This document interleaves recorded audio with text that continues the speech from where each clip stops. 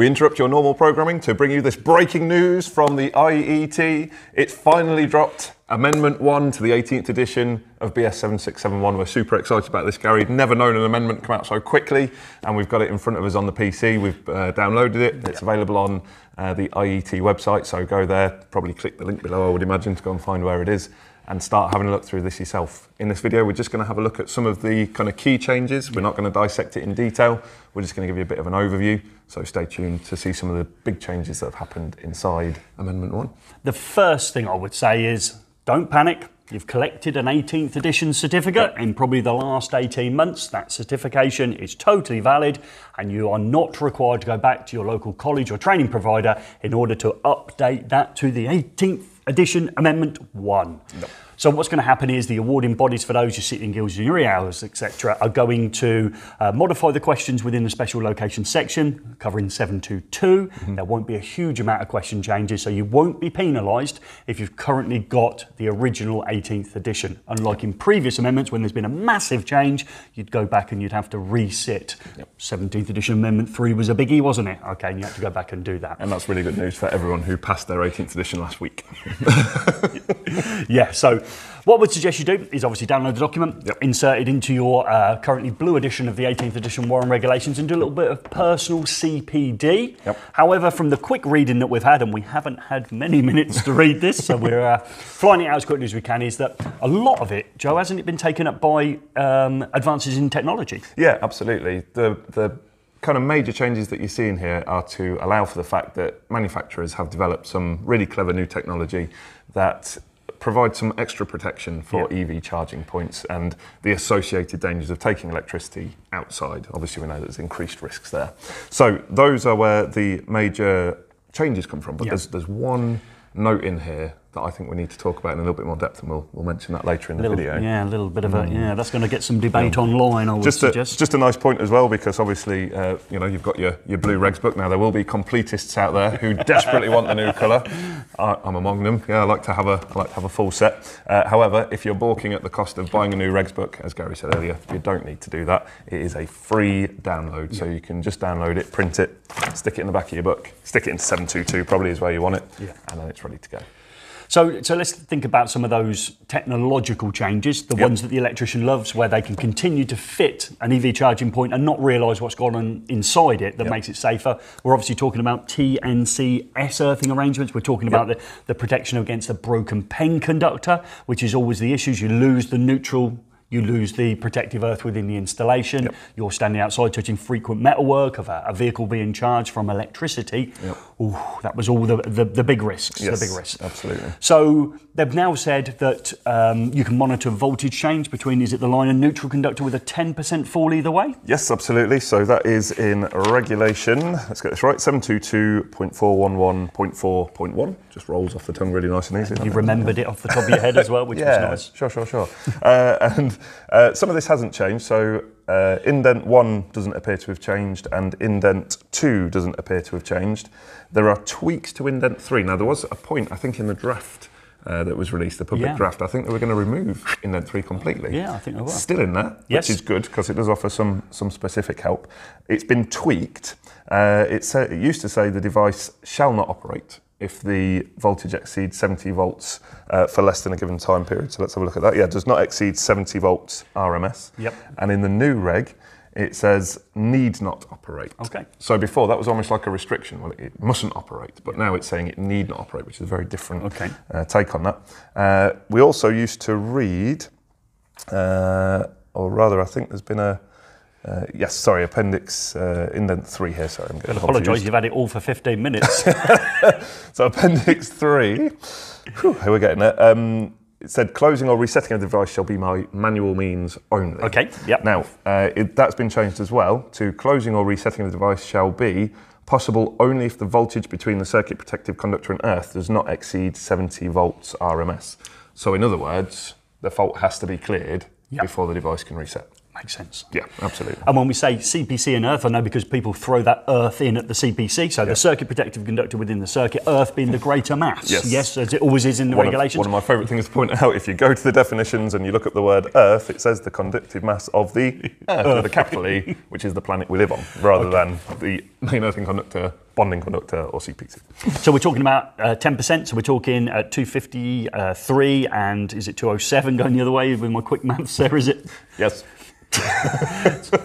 10 either way. So it's going to monitor that voltage, Yep. and if it sees it, it stray beyond those parameters, it goes beyond, beyond Yep. the 253 or below 207, Yep. the device will operate. Yes, and that is what's covered by the new indent. Yep. Indent 4. Okay. So indent 4 speaks about uh,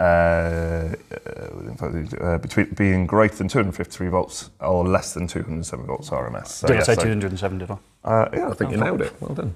Okay, so that, yeah, that's technology. Technology's done that. They've got they've obviously got technology that can monitor those voltages. It Yep. sees those patterns. It, it suggests that those voltage ranges are, are breached. Yep. Mm-hmm. It's a possibility of a broken PEN, or it is a broken PEN. Yep. Device will operate and, and come out of circuit. Yep, absolutely. That's fine. Okay, technology caught up with that. Um, we've looked at previously the um, teardown of a number of EV chargers on the channel, haven't we? And I just recommend you check those out. We've tore down a Rolec one, and Yep. we've tore down one by Zappi, the Zappi 2 EV charging point, and that's got a lot of additional technology in it to make it allegedly, and this is not a sales pitch, allegedly from I'm sure from their point of view, safer and safer and saferer. Okay, so that's the three people that are in the safe family. Yep. Okay, and is that a new indent or is it within an indent or do we think it's hidden in there somewhere, Joe? So we're talking about the uh, myenergi device. Yes, the- yeah, Zappi, yeah. Um, yeah, so that's covered partly by indent 3. As it always was. as it always was. So it's it's kind of there was concern that that would be removed. Uh, so that's covered by indent three. But there's this interesting indent five now, Yeah. uh, which actually speaks about alternative devices, and it basically it says.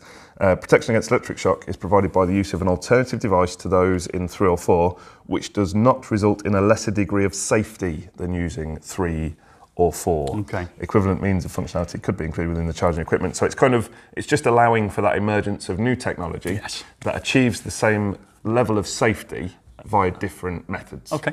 It's, it's, it's how I see that. That's how I read that. and, and and that's covering them because technology changed so rapidly quick Yeah. before the uh, after the 18th edition dropped that we've got this amendment so quickly they've Yeah. given themselves a little bit of wiggle room in there. Absolutely. Shall we get a little controversial? well, there's there's a there's a couple of uh, Oh, he's, he's teasing it. He's teasing it. There's some some additions. Uh, there's an extra note five here as well, which is uh, which is an interesting one. It talks about um, uh, sort of equipment that's not covered by British or, or harmonised standards. Yep. So it'd be interesting. That's just basically saying again, you know, if you get something in from I don't know the far side of the world that doesn't have a British standard stamp on it, you've got to make sure that that equipment meets you know the, the relevant standards anyway to keep keep always uh, been the them sort of installation safe. isn't? Yeah. Absolutely. Um, and then we come to note six. Now, note six is an interesting one, and expect a lot of debate about this. I suspect, uh, especially on social media coming up. We're not going to start that debate. Just to explain what it says, it says creating a TT earthing system for charging equipment or the whole installation as an alternative to using a PME earthing facility with one of the methods one to five above may not be an appropriate solution. May not be an appropriate solution due to the inability to provide sufficient separation from buried metalwork connected to the supply PEN conductor. Now, this is interesting because up until now, the earth electrode has always kind of been the, the, the fallback yeah, point, hasn't it? It's always for been, well, if you're not sure, stick an earth electrode in. But what this note seems to be saying, and it's it's curious that this is a note, it almost seems like a very small point here, but it's, I think this might be a game changer for the industry. It's suggesting that there might be issues if you stick your earth rod into the ground, perhaps near a piece of earthed metallic uh, structural part of the building Okay. or maybe uh, a metallic gas pipe that has Yes. been bonded, Yes. or maybe a metallic water pipe that has been bonded. Yes. That you might end up not almost basically having your earth electrode effectively connected to the main earthing system of the building, which is what we were trying to avoid in the first place. Same potential. Yeah. Leave it. Because please debate uh, elsewhere on social media. That's the talking point, isn't We've, it? we've We- sat we- and yeah. spoke about this off camera, haven't we? We're, we're sort of going.